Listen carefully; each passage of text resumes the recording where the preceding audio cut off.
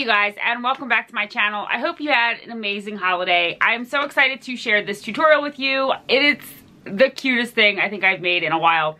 I do recommend that you make a template. Unless you are really, really, really good at um, being able to find the height and volume and the base of a cone, I would recommend that you figure all that out before you cut your fabric. um, I, on the other hand, am not the greatest at doing all of those mathematically, but I am able to figure it out. And so what I did in the video, and I will show you, is I created a template, um, a cone template. I also use this pie pan as the circle for my cuddle cups. And the reason is because it's a great size and it fits for my ferrets or guinea pigs. It's really great for basically small pets. What I wanted was I wanted the base of my cone to be the, it needed to be the same size as this, this. So I did put my measurements in the description, and if you follow what I did in the video, um, you should come pretty close to this working perfectly. But if you want it to be bigger or smaller, you're gonna have to adjust this. And even when you're making your template, I still recommend that you test this out. So at the end of this, what you want is you want the base of your cone to be the same size as the bottom of your hammock. So you need to make sure that when you cut your fabric using your template, it's going to be the same size as the base of your um, hammock. If not, when you go to put it together, it's not going to go together right. What I had to do when I, I first made my template is it ended up being a little bit too small to go around this the way that it needed to. So I added on a piece and I show all of this in the video, but I just wanted to talk about this because it just may take some time and you may want to um, cut it out slowly and then make sure that it works before you cut your fabric out. It's actually not as difficult as it seems. It can be a little more intimidating than it actually is. Um, I think when you start looking at how to find all of the measurements of a triangle and you're Googling that, your brain starts to, to fry out. I know, I know mine does. Um, we figured it out. We got it together. Just be patient. You can totally do it. I did do step-by-steps in the tutorial. So um, if you have any questions or you get stuck, you can ask me if I can help you. I certainly will. Okay, so what I've done to create the cone is I've taken two pieces of cardboard paper. I'm gonna put them together because I know I'm gonna need it to be wider than the paper I have. So I'm just creating a big square. You should have just a square. Or you can use any kind of paper. I'm just using this because this is what I had. So to get the um, cone shape, what I'm going to do is I'm going to get a ruler and I'm going to start in a corner. For me, this yellow part is an extra half inch, so we don't want to count that. So we're going to put that at the bottom where the half inch is not on the paper. And then I'm going to line it up to the 18. I think we're going to go 18 inches to do this. So you don't want this to move. You're gonna, you just wanna keep this in place no matter what you do. So I've got my ruler in place. I'm not moving the end at all. Now I'm gonna come over just a hair and we're just gonna put another mark and we are going to move over a spot. We're gonna do another mark, move over just a little bit, do another mark. And you're gonna do this till you reach all the way to, all the way around. So you're gonna be creating like an arch. Okay, so now that you're drawing your dots, which I don't, you guys probably can't see very well, I'm gonna just uh, make a line from dot to dot so I can see this better. Alright, so now we have cone looking shape. Okay, so I actually made this a little bigger. I'm gonna put all the measurements in the description like usual just because I change things around sometimes when I've never done something before. That's why I put everything in the description. Okay, we're gonna cut this out now. All right, so now you should have a cone shaped like this. Okay, so I want to show you guys kind of what I did. I use this cake top that I've had forever. I got it from the dollar store, so I use it at, to trace the bottom of my cuddle cups. And I absolutely love it because it's the perfect size. So my whole goal here is to make sure that the bottom of my bed is the same diameter as this and it's not. so I don't really like that. Um, I want this to be a little bit wider. So what I did was I went and I took the other corner and I just cut out another piece of triangle the same length as this and I'm going to tape it on. Now what that's going to do is it's going to give me um, a larger, a wider bottom but the same height. So if you guys want it to be bigger at the bottom, you may have to do something similar. So I'm just gonna line these up and attach it so that um, I can make my base a little bit bigger. Alrighty, let's get our fabric in move this show right along. Okay, so I'm gonna use cotton, but you could absolutely use fleece for both sides. It'll just be thicker. Um, I'm gonna use cotton because I feel like it'll hold its shape better, but that's after I put the fusible um, fleece on. So I'm gonna get a piece of fleece that's gonna be for the inside because I want the inside where they lay to be soft. I'm gonna put these right sides facing together and then I'm gonna cut it out. Okay, so now you wanna trace your bottom piece. Okay. Okay, so now um, I'm gonna be using fusible fleece. This is um, fusible on one side. This can be about a half inch smaller than your actual um, shape. Okay, so now what I'm gonna do is I'm going to iron the fusible fleece onto the back of each of my pieces. So um, to do that, you're basically gonna want something to put down on an ironing board. You wanna put something over top of your fabric and you wanna hold it down and not slide your iron. You wanna hold it down on your fleece for about five to seven seconds and then check it. If you do it too long, you may burn your fleece.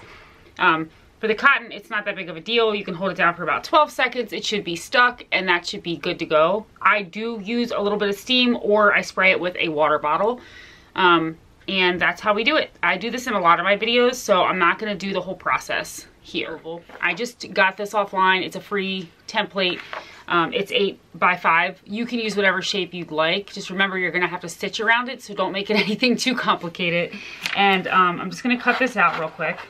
Okay, so I found my center and I did that by going point to point and then from the top. So basically from point to point is 22 inches um, long. This is 22 inches of a curve and these are 21 and a half inches on both sides.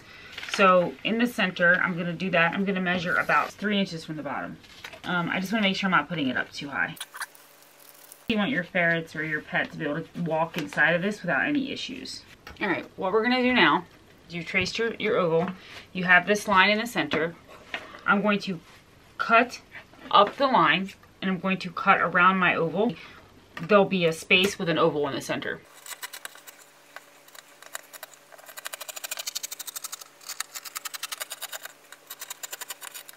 So you should now have something that looks like this.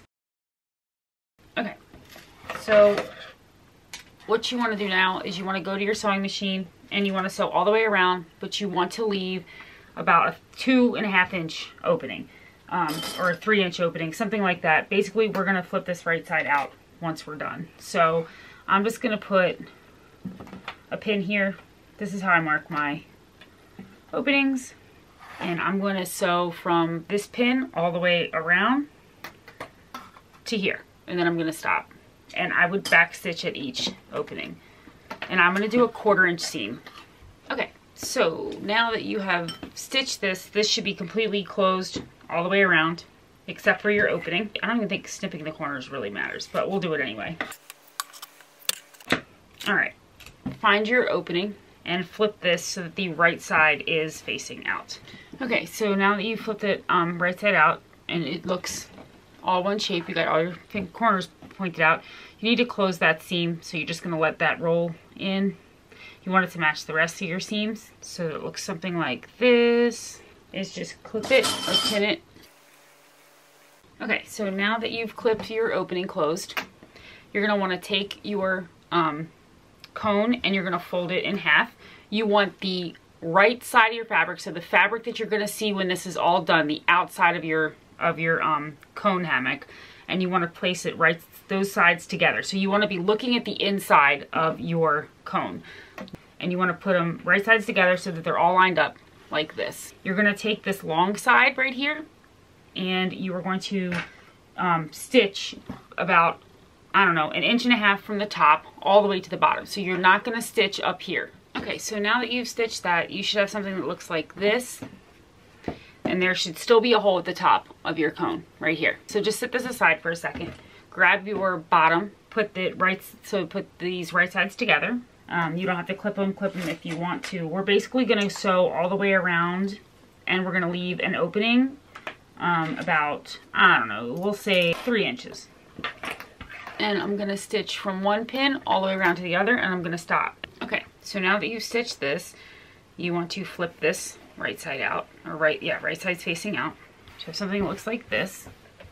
You're gonna wanna do the same thing you did over here, but you wanna try to keep your circle shape. So just tuck this in and just try to keep it um, a circle because you don't wanna make this kind of flat, which is really easy to do when you start to flip these. Okay, so now that I've clipped that opening shut, I'm gonna top stitch all the way around, um, just real close to the edge. So you don't have to make it super pretty. We're just basically focusing on um, closing this opening. You could do a quarter inch top stitch. Okay, so now you've stitched this pad. You put your top stitch in. You just wanna make sure that it's closed, that there's no openings. And so if that looks good, just set that aside. Grab your cone shape. Now you have this opening. Um, what you want to do is I want to take, and I want to leave it just like it is. So I want the inside fabric looking at me and the fabric that is going to be showing to the outside once this is done. I want that facing right sides together. You're going to take your um, pieces, you're going to clip them, or you don't even really have to clip them at this point. What we're going to do is we're going to go over to our sewing machine and you're going to stitch this, this opening closed. I'm just gonna do probably a quarter inch seam, just a little seam. I basically just wanna close this off. So now that you've done that, you should actually just have a cone shape now. And it should look like something like this. So what you wanna do is you want to take your pad and you want to have the outside fabric looking at you and you want this cone to look like this. You wanna match the right sides together. So you want the right sides of the outside fabric to the right sides of the outside fabric. And you're just going to match up the edges and clip it or pin it in place. And you're just gonna go all the way around. And if you measured this out correctly, then um, they, it should fit on here pretty much perfectly. All right, so when you are done, you should have something that looks like this. This is your bottom, this is your cone. And you're gonna go over to your sewing machine and you're gonna stitch the bottom to the cone. So now that you've stitched the bottom. There should be no openings at the bottom. The only opening should be here and then also at the top, which is where we're gonna put our strapping to hang it. So what I've done is um, I'm gonna be using this kind of hook. It's a swivel hook. You can get them off Amazon. I'll put a link in the description. You can also, I got a whole big pack on eBay. Um, or you can use shower hooks. So it's completely up to you. You can also use carabiners, those little tiny carabiners. Anyway, I cut a piece of strapping nine inches. So I'm gonna put my hook on. I'm gonna fold it in half like this and I'm going to stick it in the hole that I left. And if you have a hard time getting it through, um, which you shouldn't, but if you do, just reach your hand in and grab it. So what I'm gonna do now, I'll leave a little bit of it hanging out. If you guys can see that or not. And then I am going to take um, just a clip to clip it in place real quickly. I'm gonna go over to my sewing machine and I'm gonna stitch about an inch down from the top. So I wanna make sure that I close this opening and that I catch the strapping and I would go over this like two times at least, just to make sure that this never goes anywhere. Okay, so once you've sewn your hook on, um, you should it should just be, everything should be closed except for the opening in the front. I'm actually going to snip this off because it'll make it a little hard to flip it the way that I want. Um, so now that you've done that, you want to take your hand and flip your entire cone right side facing out. Push up the top where your hook is and then push your bottom out so that it's nice and round. All right, and let me get you guys in a position so you can see the whole thing finished. So this is what it will look like when it's done.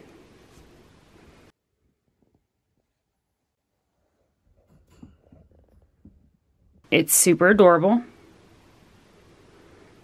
and we are going to hang it up in the ferret's cage. It's so cute. Also, um, I made, end up making a little pad for this. So it's just a little pad that fits on the bottom. It just helps it hold its shape. It's also just an extra softness and it fits in there really well and it just keeps the shape a little bit better.